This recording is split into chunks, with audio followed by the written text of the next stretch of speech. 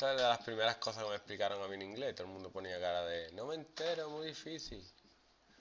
La mayoría de mis compañeros tienen un nivel de inglés penoso y yo sé inglés. Eh, todo está en la actitud que tú tengas, ¿vale, Rocío? En la actitud que tú pones hacia lo que tienes que estudiar. Si tienes una buena actitud, una actitud abierta, vas a aprender. Si no, no vas a aprender. Eso es así.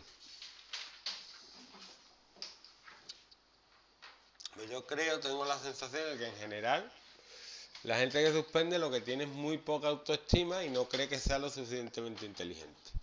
Y sobre todo no cree que se merezca tener buenas notas. Entonces hace todo lo posible para suspender. ¿Por qué? Porque cree que no lo merece. Entonces dicen, no, es para llamar la atención de los padres, por no hay no, no. Es que no tienen el... Y otros dicen, no, es que les da igual. Digo, no, no les da igual. No les da igual en absoluto. Lo que pasa es que dan esa imagen hacia afuera para que nadie lo... Ah, es que me da igual estudiar. No, no, no les da igual. En absoluto, vamos, a nadie. Lo que pasa es que, claro, aceptar que somos débiles y que nos equivocamos es complicado. Sobre todo con vuestra edad, con mi ya da igual. Me puedo equivocar todas las veces que quiera que... Mm, voy a seguir siendo el mismo. Quiero decir, te vas a equivocar, sí o no. Quieras o no quieras, te vas a equivocar. Así que lo que no te puedes equivocar es lo mismo 70 veces. Quiero decir, no estudio hoy, no estudio mañana, no estudio el otro, no estudio el otro. Ya cuando haces eso muchas veces, bueno, como decía Forrest Gump, tonto es el que hace tontería. Es una tontería. Lo siento. Si a alguien le sienta mal, lo siento, pero es una tontería. Cuando, si nadie te ha dicho, mira, estudiar es importante para tu futuro, pues vale. Pero como lo dicen continuamente, cuando no quieres entrar por ahí, porque ya te digo, tenéis la autoestima está muy bajita, no creéis que merezcáis estudiar, no creéis que merezcáis nada, pues... Y además que supone un esfuerzo y bueno, no todo el mundo está dispuesto a hacer este esfuerzo. ¿Vale? Pero ya os digo, 200 mil dólares al año, ya lo que ustedes queráis. ¿Cuánto era? 180 mil euros entre 12, ¿cuánto cabe? 15.000 euros al menos, ya. Yo, si alguien, a, alguien de aquí no quiere que le den 15.000 euros al mes, digo, para cuando cobréis un sueldo me lo dais a mí. ¿Alguien no quiere 15.000 euros al mes? Pues este es el camino, ¿vale? Este. Que sí, que luego me decís, no, es que Cristiano Ronaldo no ha estudiado y mira, ¿vale? Pero va a jugar fútbol.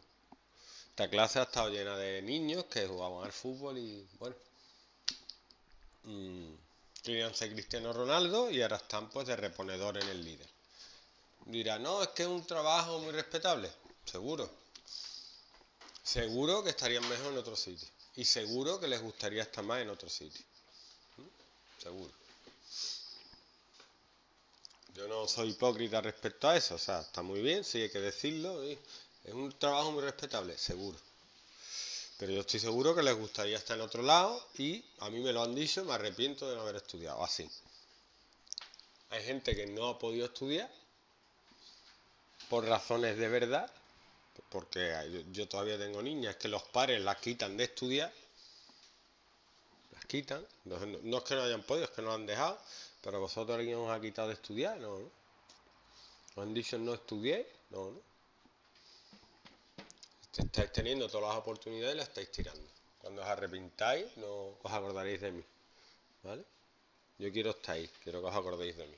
Quiero que me odiéis, sin que, que me odiéis, que os acordéis de lo que estoy diciendo y que digáis, tenía razón el ese, ¿vale? Eso es lo que yo quiero. Y llegará el día, a todos les llega el día, ¿vale? Genitivo sajón. Digo, para que no os equivoquéis, quiero decir, en el instituto no os pueden decir esto, yo sí lo puedo decir, lo digo. En inglés no se dice el hermano de Juan. No se puede decir. Y no se puede transcribir literalmente. ¿Cómo se dice hermano? Sí, pero alguno de primero, ustedes lo sabéis ya. The Brother of John. Eso está mal. Esto no es inglés. ¿Vale? En inglés se le da la vuelta. Se pone primero el Juan, John. Luego se le pone apóstrofe S. Esto quiere decir de. Y luego se pone brother. John's brother es el hermano de Juan. ¿Vale? El coche de mi hermano, para liaros un poquito. El coche de mi hermano sería, primero pongo mi hermano, que es my brother. My brother, brother, brother. My brother's car.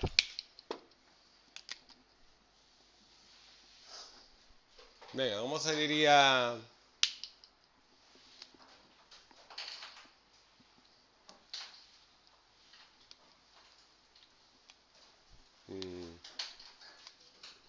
El examen de Rocío, por poner algo. Bueno, Rocío va a tener más de un examen, pero bueno, ahora, ahora vemos cuando sea más de uno. ¿Cómo sería el examen de Rocío?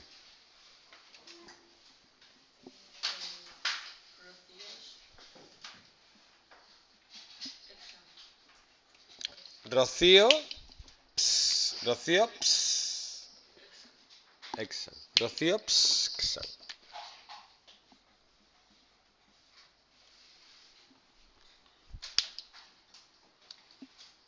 Eh, una de las maneras en que yo aprendí inglés, que es muy divertida, es cantando. ¿A quién no le gusta cantar?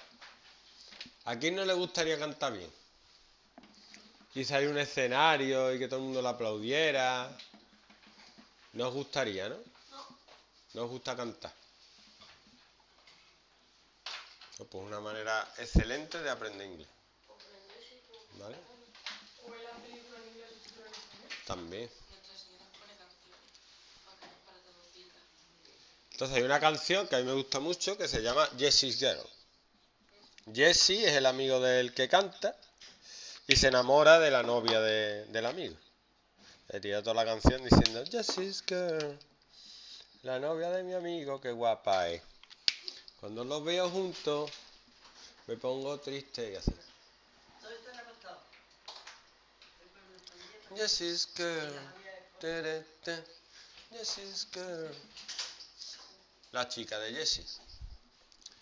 Si el nombre está en plural, no se pone la S. Por ejemplo, los exámenes de Rocío.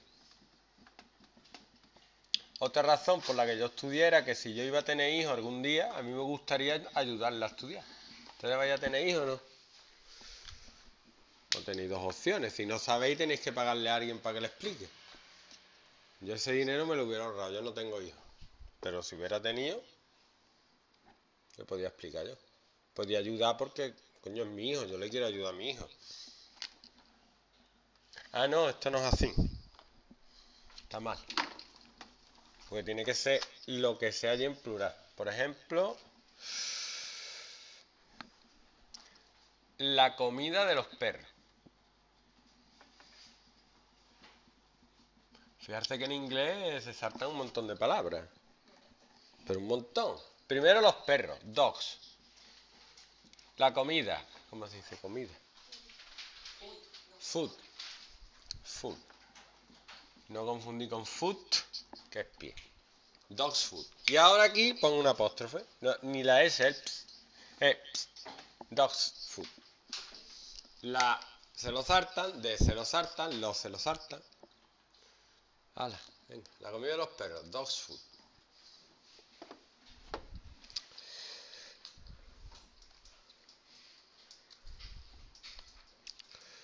¿Qué más?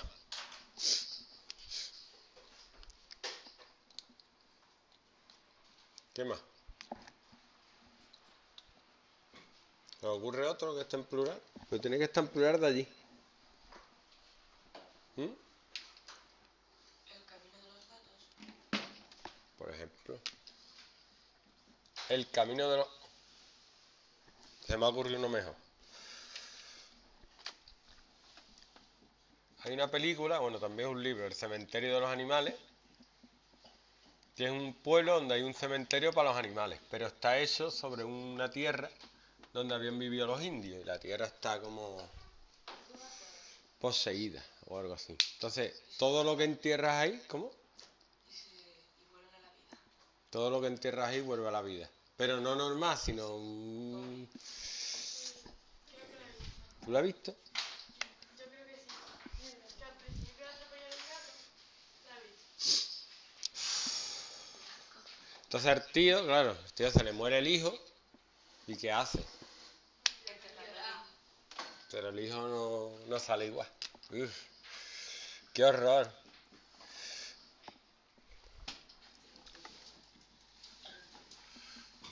Sería Pet Cemetery, pero en inglés, si leéis el libro, miráis el- la película, es Pet Cemetery.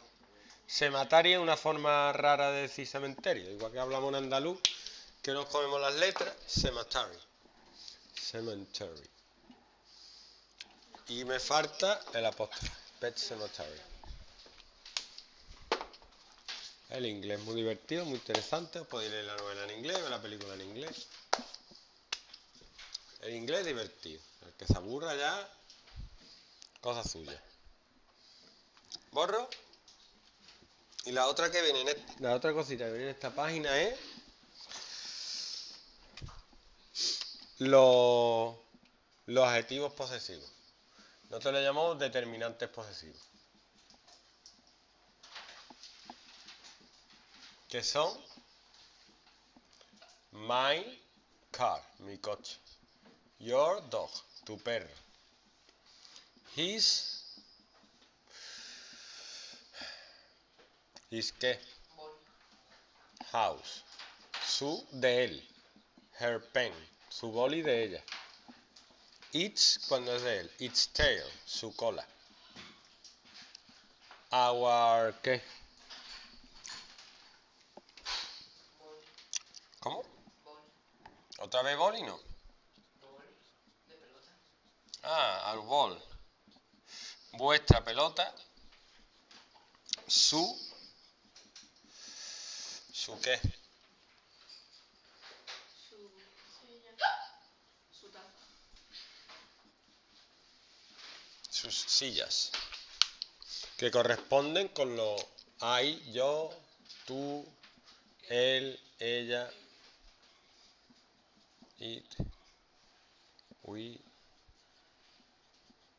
Algunos son más parecidos, cambia algo, pero vamos. Esto sí que cambia. Y este. Y we también. Y we también. Our.